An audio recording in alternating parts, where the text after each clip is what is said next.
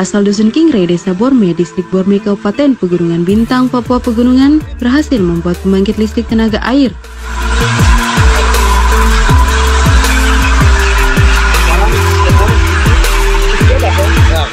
Dengan keterbatasan alat dan ilmu pengetahuan yang berhasil dirinya tempuh di Fakultas Teknik Universitas Cendrawasih jurusan mesin, pemuda bernama lengkap Dinus Lepitalen berhasil membuat perubahan bagi daerahnya dengan mengembangkan pembangkit listrik tenaga air menggunakan turbin.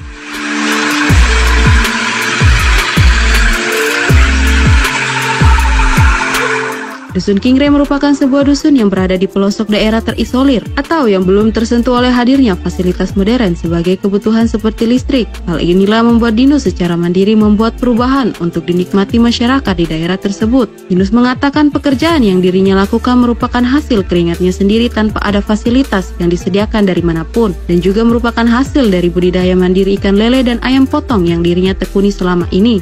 Dengan uang pribadinya, Dinus mendatangkan turbin dari Jayapura serta membeli alat-alat pendukung sedikit demi sedikit hingga lengkap dan dapat dipasang di tiap-tiap titik. Dirinya juga menggunakan pipa bekas dari sisa pengadaan pipa air bersih yang tidak terpakai.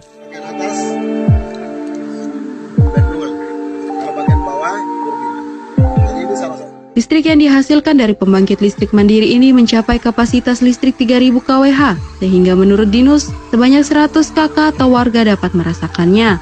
Dinus juga mengungkapkan pembangkit mandiri yang dirinya kerjakan ini memakan waktu kurang lebih satu bulan karena baru seminggu ia menyelesaikan pada bagian turbin dan keseluruhannya akan rampung di bulan Februari mendatang. Tak hanya di dusunnya, Dinus juga mempunyai harapan besar ke depan dengan idenya merencanakan pembangunan pembangkit listrik mandiri 2x24 jam di 277 kampung pada 34 distrik di Kabupaten Pegunungan Bintang.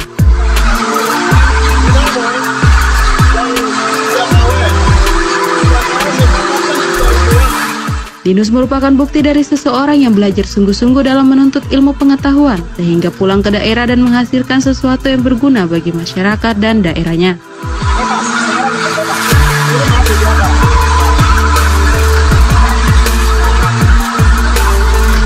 Tim Liputan Batas Papua